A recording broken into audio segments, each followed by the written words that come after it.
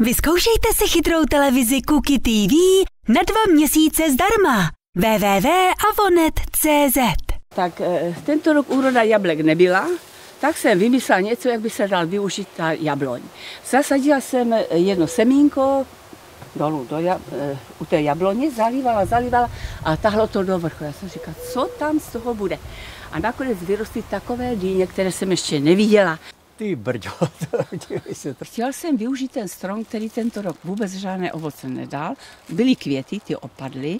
A tak jsem to využila tak, že když je dost vysoký, zasadila se ta semínka. No byla to nějaká dyně, ale měla to být taková dyně, jak je tam. A buď to byl kříženec, nevím, co mi z toho vyšlo.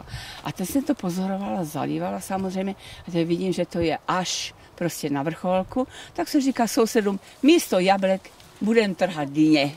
Toto je eh, první sklizen této dyně a jak ho dostat z té jabloně pětimetrové.